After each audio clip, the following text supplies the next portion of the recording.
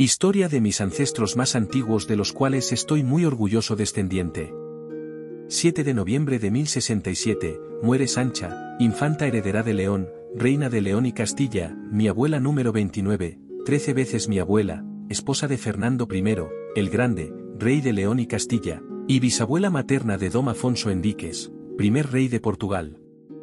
Sancha, infanta heredera de León, reina de León y Castilla, nacida en 1015, y fallecida el 7 de noviembre de 1067, era hija de Alfonso V, rey de León y de Elvira Méndez, soberana condesa de Portucale, nieta paterna de Bermudo II, rey de León y Elvira Garcés de Castilla, y nieta materna de Don Mendo González, soberano conde de Portucale y tutadona Moniz de Coimbra.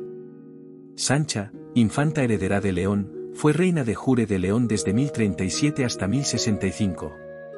Sancha era hija de Alfonso V, rey de León y de su primera esposa Elvira Méndez, soberana condesa de Portugal, y por tanto era hermana del rey Bermudo III. En 1032 se casó con uno de los infantes del reino de Pamplona, Fernando quien heredó el condado de Castilla de su madre, Munia Mayor, princesa heredera de Castilla.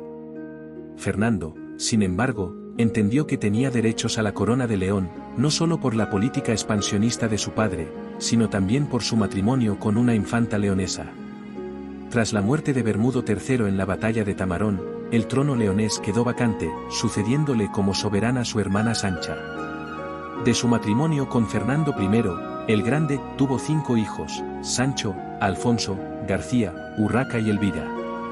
Al morir su marido, según las disposiciones testamentarias, Sancho recaería en Castilla, Alfonso León, García en Galicia, y las infantas Urraca y Elvira el señorío de varios monasterios del reino y el título de reina.